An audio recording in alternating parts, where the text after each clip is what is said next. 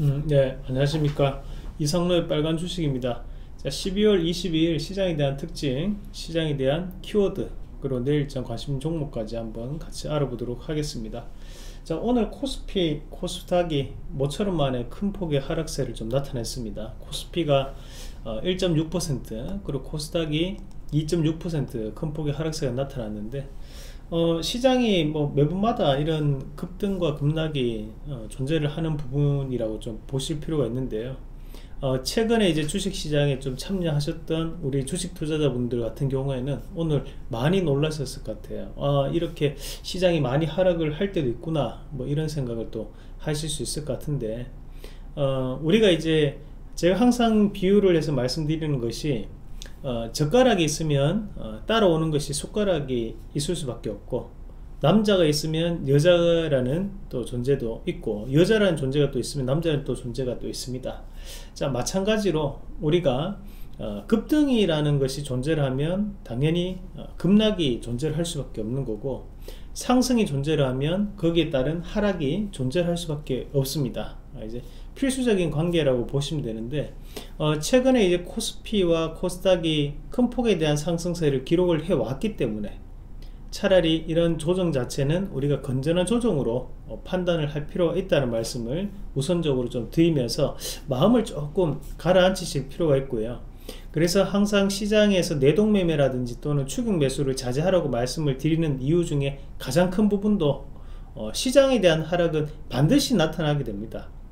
어, 항상 오르는 시장이라는 것은 있을 수 없는 일이거든요.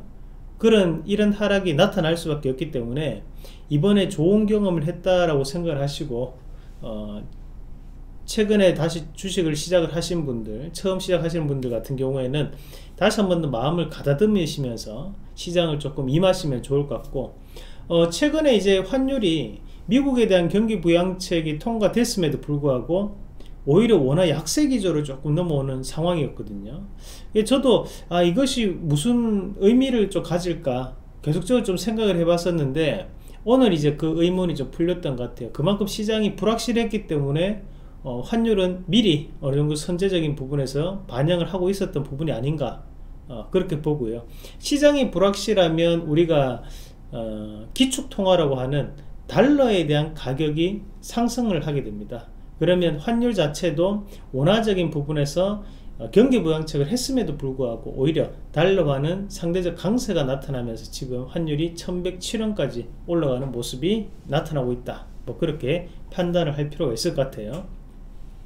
어, 일단은 지금 현재 시장이 불확실함이 존재를 한다고 봐야 되는데 어, 오늘 가장 큰 불확실성이 바로 이런 변종 코로나에 대한 등장이었습니다. 변종 코로나에 대한 공포가 다시 한 번 더 드러나면서 어, 우리가 음, 올해 3월 달에 큰 폭의 하락을 보였던 그 악몽이 다시 한번 떠오르는 어, 그런 부분이 아니었나 보는 거고 이번에 이 변종 코로나 같은 경우에는 영국에서 어, 지금 다시 한 번 더 재발이 되는 상황이었고 그러면서 이제 우리가 변동성 지수 공포 지수로 가는 VIX 지수가 큰 폭의 상승세를 또 보였습니다.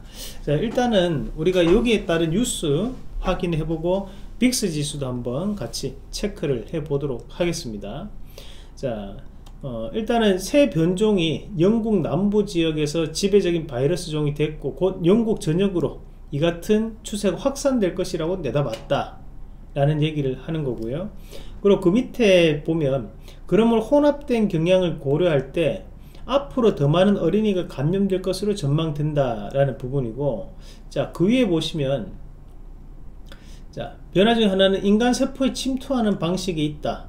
어, 아마도 어린이들은 어른과 비슷할 정도로 바이러스에 감염되기 쉬워질 것이다. 라는 부분 얘기가 나왔고 그 밑에 이제 수도 런던 및 인근 지역에서 감염자가 급격하게 늘어나고 있다 그래서 긴급 봉쇄를 결정했다 라는 거고 어, 감염력은 최대 70%로 더 크다라고 알려졌다라는데요. 그리고 이웃나라의 프랑스라든지 또는 전 세계 40개국 이상이 영국발 입국 제한 조치에 들어갔다라는 부분까지도 오늘 뉴스로 나왔습니다. 자, 일단 이 변종 코로나가 어, 지금의 현재 백신과 치료제로 막을 수 있을지 여부는 아직까지 확인된 부분은 아닙니다. 그만큼 이제 불확실하다 보니까 투자 심리가 상당 부분 위축되는 어, 그런 경향이 크게 나타났다라는 부분으로 해석을 할 필요가 있고 자 그러면 우리가 이 VIX 지수도 한번 같이 보시면요 어.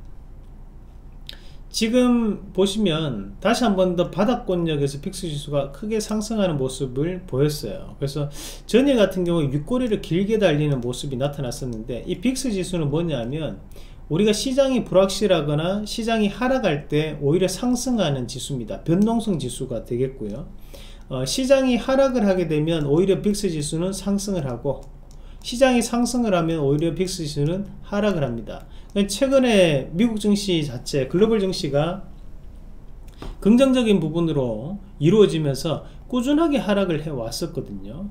어, 그럼에도 불구하고 전일 큰 변종 코로나에 대한 등장으로 인해서 단기간에 이렇게 급등하는 모습이 나타났고 다행인 것은 윗꼬리가 길게 달리는 모습이었다. 어, 그만큼 일부 차익 매물도 많이 나왔던 그런 변동성 지수이기 때문에 지금 이 지수만 보더라 본다면 우리가 여기에서 추가적인 상승 자체는 제한적인 부분이 나타날 것이다 라고 보는 게 맞습니다. 그러면 현재 시장 자체는 추세적 상승을 좀 더 유지를 할 거라고 보는 시각이 저는 맞다라고 보고 국내 증시에 대한 수급을 한번 같이 해석을 해 보겠는데요. 자 국내 증시에서 어, 오늘 시장에서 좀 중요한 포인트가 어, 코스피 같은 경우에 개인들이 3,700억 원에 대한 매수를 또다시 한번 보였고 외국인과 기관은 또 매도를 보였거든요. 거기에서 전일 연기금에 대한 매수가 들어왔던 것은 긍정적으로 해석을 해줘야 된다고 했는데 연속적인 매수에 대한 여부를 보자 했지만 오늘 매도로 또다시 돌았었어요. 상당한 또다시 실망감이 나타날 수밖에 없는 과정이고 오늘 같이 이렇게 지수가 빠질 때 원래 연기금이 바닥권역에서 가격을 잡아줄 수 있는 그런 역할을 해주는 게 맞거든요. 그런 것들이 조금 아쉬운 포인트가 아닌가 라고 보는 거고 자 코스닥 시장에서도 마찬가지로 개인들에 대한 매수가 들어왔지만 외국인과 기관에 대한 양매도가 나타나면서 자 연기금의 일부에 대한 매수가 들어왔는데 이 매수는 개별주에 대한 매수라고 봐야 될 필요가 있을 것 같아요. 그래서 개별주 중심으로 해가지고 가격이 좀 더 저렴한 종목에 대해서는 여전히 연기금도 매수가 유입되고 있는 과정이다. 어, 이렇게 우리가 추정을 해볼 수 있겠습니다. 자 시장이 전반적으로 이제 나빠졌다기 보기보다는 오늘 하루 만에 큰 폭에 대한 하락세가 나타났다라는 부분으로 해석을 할 필요가 있어요. 그래서 지수를 한번 같이 보시면요.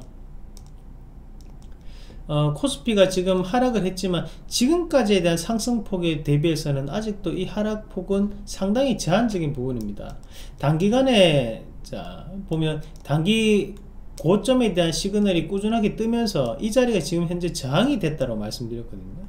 그런데 거기에 대한 조정이 들어오는 거고 그럼 앞에 있던 자리 앞에 있던 갭에 대한 부분까지는 일부 조정이 나올 수 있지만 쉽게 그런 자리들이 깨지지는 않을 것이다. 라는 부분으로 해석을 할 필요가 있을 것 같아요. 마찬가지로 코스닥에서도 자 단기적으로 단기 고점에 대한 시그널이 꾸준하게 떴지만 거기를 지금 벗어나서 한번 시세를 냈고 지금 현재는 하단에 있는 자, 이 포인트 920포인트 전후가 또다시 한번 더 지지에 대한 부분으로 해석할 수 있는 자리입니다 그래서 시장 자체를 나쁘게 보지 말자. 오늘의 하락은 건전한 조정에 대한 과정이다 라는 말씀을 좀 드리고 싶습니다. 자 어, 그리고 이제 두 번째 주제가 2차전지 관련주 조정은 어떻게 판단할까 라는 부분이었는데 어, 우리가 이제 2차전지 관련해 가지고 어제 공개 방송에서도 말씀드렸던 내용이 있는데요. 오늘 추가적으로 어, 첨부해서 말씀을 좀 드리겠고 어, 간밤에 이 2차전지 관련해 가지고 전기차 시장에 대한 큰 변화가 한번 나타났습니다. 바로 애플이 전기차 시장에 진출을 한다라는 부분이었습니다. 자 애플이 2024년도에 전기차에 대한 생산을 시작할 것이다. 화재 위험이 낮은 LFP 배터리를 채택을 할 것이다.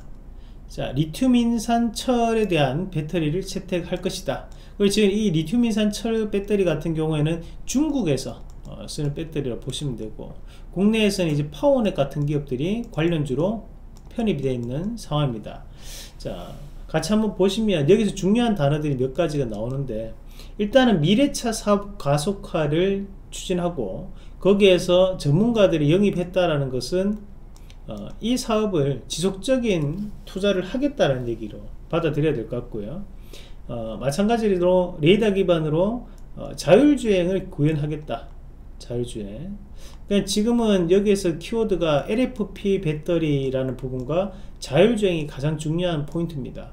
어, 전일 S&P 500 지수에 이제 테슬라가 상장이 편입이 되면서 다시 상장이 됐는데 그러면서 지수 자체는 어, 테슬라가 6% 하락 마감을 했어요. 결국에는 애플이 등장했기 때문에 경쟁자가 생겼다는 의미로 받아들이는 것 같거든요. 그러니까 지금 여기에서 우리가 이제 중요한 부분은 자 어, 지금의 LFP 배터리란 다시 한번 대안이 지금 등장을 하고 있다라는 부분이에요. 음, 그 무슨 말이냐? 지금 테슬라 같은 경우에도 배터리에 대한 부분 자체에서 상당히 고심을 하고 있는 상황입니다. 그럼 우리가 이런 전기차 시장을 봤을 때 지금까지 우리나라는 2차 전지를 중심으로 시장이 형성되고 있어요. 어, 하지만 이 2차 전지는 작은 소괄호거든요. 카테고리 중에 한 개입니다. 그러면 여기에서 큰 대괄호는 뭐냐면 어떤 카테고리 안에 포함되어 있냐 바로 전기차라는 카테고리 안에 2차 전지라는 카테고리가 일부 포함되어 있어요. 그러면 이 전기차를 총칭하는 것이 2차 전지는 아니죠. 그러면 이 전기차 시장에서 최근에 오르고 있는 종목군들은 뭐예요?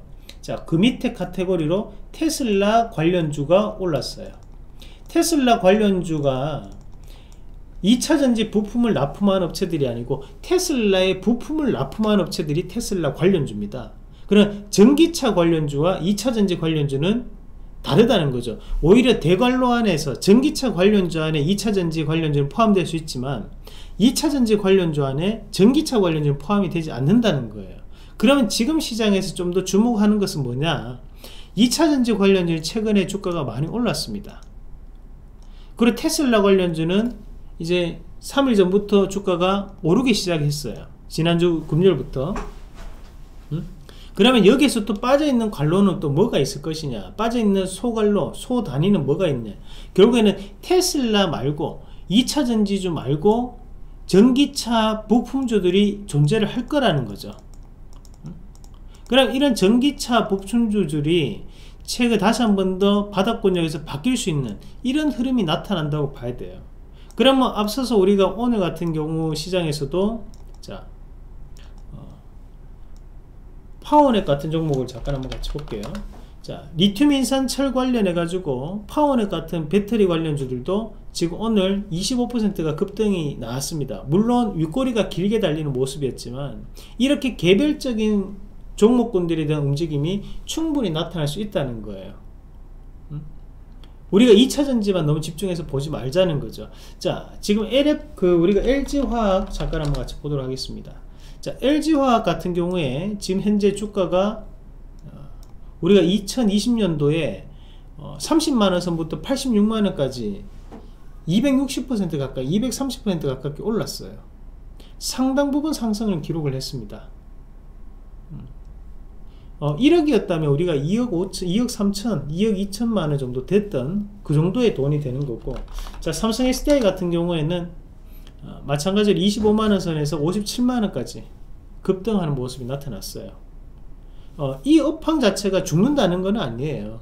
앞으로도 이 삼성 SDI라든지 또는 LG화학도 충분한 부분에서에 대한 주가가 상승할 저는 더욱더 할 거라고 봐요. 하지만 이 삼성 SDI가 여기에서 두 배 이상 올라가기는 힘들다고 보거든요. 오히려 지금 자리부터 시작을 해가지고 배터리에 대한 과열 경쟁이 나타날 수 있는 여건이 형성될 수 있다는 거죠. 왜냐하면 전기차라는 큰 카테고리는 더욱더 성장을 할 것이고 2차전지 시장도 더욱더 성장할 수 있는데 지금 현재 이 2차전지 시장 자체는 리튬인산 처리라든지 또는 전고체 배터리라든지 여러가지 배터리에 대한 얘기들이 계속적으로 나오고 있는 시장이라는 거예요 그러면 혹시나 신소재가 개발돼 버리면 거기에 따른 부분에서 또다시 한 번 더 매기세는 쏠릴 가능성도 우리가 판단을 하고 봐야 된다는 얘기죠. 그러면 이런 고가 권역에서 삼성 SDI나 LG화학이 올라갔다는 것은 오히려 2차전지 시장 자체가 확대가 되어 있는 상황이기 때문에 빠져있는 종목군들에 대해서 우리 개인 투자자분들은 더욱더 관심을 가질 필요가 있다는 거예요 LG화학을 가지고 지금 여기에서 반등 나오는 것을 보고 자 여기에서 다시 한 번 더 80만원 사가지고 86만원 반등 나왔습니다 얼마 먹는 겁니까 5%? 6%? 그걸 먹으려고 들어가는 것보다 여기에서 추가적인 하락이 나타났을 때 하락폭은 여기까지도 혹시 하락이 가능하거든요. 그러니까 68만원 선이잖아요. 그러면 손해보는 장사를 하려고 들어가는 거라는. 음.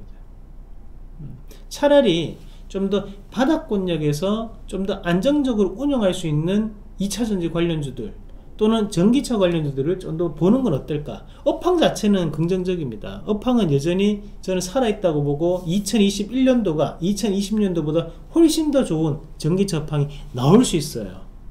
하지만 하지만 우리 개인 투자자들은 항상 가격적인 부분을 명심을 하고 매매를 해야 돼요 현재 구간은 가격이 너무 비싸다는 거예요. 그 비싼 거를 감안을 해서 우리가 좀더 저렴한 2차전지 또는 저렴한 전기차 관련주를 매수를 해보는 건 어떨까? 그 말씀을 좀 드리고 싶어요. 어, 최근에 테슬라 관련주들이 센트럴 모텍이라든지 이런 기업들이 자 단기간에 급등을 하는 모습을 보였고 여기서 추세가 이렇게 죽지는 않을 거예요. 꾸준하게 이렇게 상승을 해서 넘어갈 가능성이 높은데 자 이런 종목군들이 자 어때요? 주가가 빠질 때는 소외가 되는 모습들이었거든요. 테슬라 관련 주지만 소외가 되었었단 말이죠. 소외가 되었단 말이에요. 마찬가지로 최근에 상한가를 기록했던 DIC 같은 경우에도 소외가 됐던 종목이에요. 거래량에 대한 바닥을 다지고 갑작스럽게 튀기 시작했다는 얘기죠. 그러면 이렇게 소외가 돼 있는 2차전지 전기차 관련주 테슬라 관련주들이 다시 한번 기회로 기회로 우리가 맞아들일 필요가 있다라는 겁니다. 그리고 오늘 어, 나왔던 이슈 중에 한 가지 더. 바로 이 애플에 대한 얘기 나오면서 밑에 자율주행이라는 얘기가 나왔는데 이 자율주행은 어떻게 해석을 해야 될 것이냐? 오늘 그러면 이 애플 관련해 가지고 이상로 대표님 그러면 자율주행 관련주도 다 같이 움직였어야 되는 거 아닙니까 자 좋은 질문입니다. 이렇게 질문이 나와줘야 돼요. 나와줘야 됩니다. 근데 오늘 모바일 어플라이언스라든지 에이테크 솔루션이라든지 이런 기업들이 반등이 나왔어요. 반등이. 자, 어, 뭐 코리아 FT라든지 반등은 나왔어요. 그죠? 또 이름이 지금 갑자기 또 생각이 안 나는데 저희가 또 매매했던 종목군들도 있는데 지금 이름이 갑작스럽게 생각이 나지가 않습니다. 어, 어, 제가 네.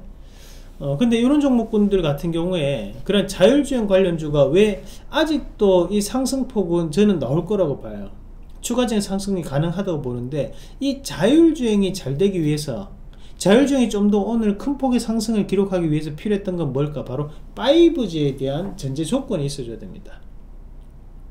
자, 자율주행이라는 것이 잘 되기 위해서는 이 통신에 대한 부분 자체가 원활하게 작용할 수 있는 부분이 되어줘야 되는데 오늘 5G 관련주들이 대부분 다 하락을 했어요. 자, 에이스테크도 조정을 보였고요. 그죠? 오늘 장중에 다시 한번 넘어가는 모습이 나타났었지만 아, 그죠? 장중 2.6%가 올라왔지만 조정폭이 보였었고 자 마찬가지로 이제 KMW라든지 자, 이런 기업들도 다시 한번 주가가 한번 빠져버렸습니다 자, 오이 솔루션도 주가가 빠져버렸죠 음, 다시 조정 포인트를 좀 주고 있단 말이에요 자, 어, 우리가 이제 이 5G에 대한 전제 조건이 대조하지만 자율주행이 원활하게 될 수가 있거든요 그런 자율주행에 대한 여건 자체가 좀 더 개선되는 흐름이 필요하고 어, 또는 법안에 대한 부분 자체가 추가적으로 어, 공개가 되어야지만 어, 거기에서 좀 더 자율주행이 탄력을 받을 수 있다. 어, 현재는 레벨 3까지는 가능합니다. 국내 법안으로 하지만 이제 레벨 4로 올라가줘야지만 우리가 법안에 대한 부분 자체가 돼줘야지만 이제 자율주행이 합법적인 부분 안에 들어가는 거기 때문에 그때까지에 대한 시간은 걸릴 수밖에 없다라는 부분으로 어, 해석을 해줘야 될 것 같습니다. 대신에 이 자율주행 관련해 가지고 에테크 솔루션 같은 경우에는 자 여기 보시면 삼성전자가 현재 지분을 보유를 하고 있는 업체입니다. 15.9% 보유하고 있고 어, 미국에서 자율주행 삼성전자 자율주행 관련한 얘기가 나온다. 그러면 대부분 다 이 회사가 어, 연구개발 함께 하고 있는 부분이라고 생각을 하시면 돼요. 그래서 지금 삼성전자에 대한 지분도 이 에이테크 솔루션은 보유를 하고 있다 어, 그 부분도 참고를 할 필요가 있어요. 왜냐하면 애플이 결국 자율주행차 산업에 진입을 했고 테슬라가 현재 어, 이 전기차 배터리 전기차 관련된 부분을 하면서 테슬라가 능력을 인정받는 것이 바로 배터리하고 또 한 가지가 바로 자율주행이거든요. 그러면 지금 전 세계에서 IT 기업에 대한 선두주자라고 하는 기업들이 지금 어, 이런 식으로 전기차 시장 안에서 자율주행 관련된 연구 개발을 하고 있다는 것은 삼성전자가 좀 더 본격적인 부분에서 드라이브를 걸 가능성이 높다라는 부분으로 우리가 해석을 해줄 필요가 있다는 거죠. 음. 그러면 삼성전자도 이런 자율주행 관련한 연구 개발에 좀 더 박차를 갈 가능성도 있다. 그래서 그 부분도 우리가 열어놓고 봐야 됩니다. 자, 거기까지 오늘은 말씀을 드리도록 하겠습니다. 자, 어, 저희가 이제 11월 달에 매매했던 내역인데요. 11월 달에도 어, 매매를 진행을 했었고, 보시면 대부분 다 이제 시간이 지나면서 신고가를 이렇게 가는 모습도 많이 나타났습니다. 어, 그래서 물론 모든 종목이 다 상승을 하고 급등을 하면 좋겠지만 그 중에서도 손절을 하는 종목군들도 이렇게 발생을 하고요. 추가적인 상승도 강하게 올라가는 종목군도 발생하고 아직까지도 많이 안 올라간 종목도 존재를 합니다. 어, 하지만 저희가 항상 이런 매직 가격대 매수를 하다 보니까 추세적 상승을 보일 수 있는 종목군으로 위주로 매매를 한다라고 좀 보시면 좋을 것 같고요. 급등한 종목이 아니라 급등할 수 있는 종목을 미리 선매수 한다는 부분으로 대응을 하고 있다는 것까지 참고하시면 좋을 것 같습니다.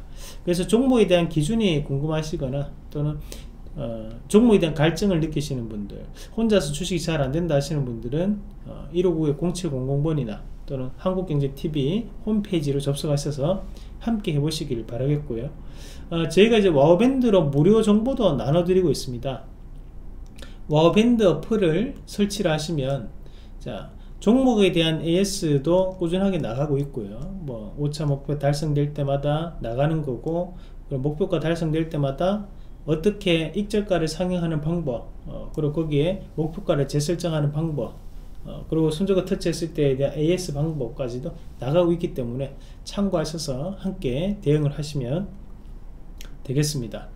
자, 어, 준비된 내용은 오늘 여기까지 말씀을 드리겠고요. 내용이 괜찮으셨다면 좋아요와 구독하기도 많이 눌러주시길 바라겠습니다.